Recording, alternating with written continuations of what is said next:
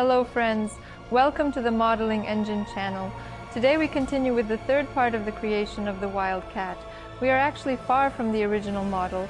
I have an organic type model that follows certain general aspects of the Wildcat, but in the future I will get to the result. For the moment I am remembering the modeling techniques that I had left on the headboard.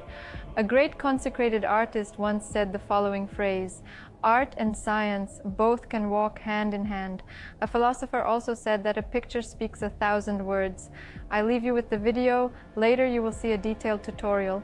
In short, today I cut certain parts of the vehicle to create the doors. I tell you that if you have any questions, you can write them down in the comments box. We always appreciate what everyone asks for to continue creating more artificial intelligence content. Without having anything else to add, see you next time.